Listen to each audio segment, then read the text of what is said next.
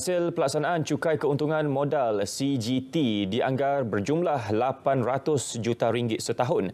Kementerian Kewangan memaklumkan anggaran itu berdasarkan trend pindah milik saham dalam beberapa tahun terkini. Menjelaskannya menerusi jawapan bertulis di Dewan Rakyat. CGT yang dijangka bermula 1 Mac 2024 hanya akan dikenakan kepada pelupus saham tidak tersenarai.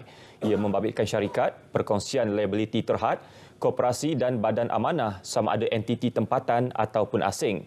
Ketika ini pindaan perundangan berkaitan sedang dilaksanakan dan garis panduan akan dikeluarkan.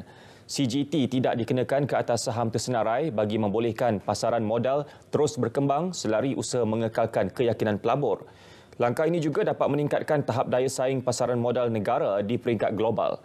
Pengenalan CGT juga bertujuan mempermudah dan menambah baik aspek pentadbiran cukai selain antara usaha mempelbagaikan sumber hasil pendapatan negara.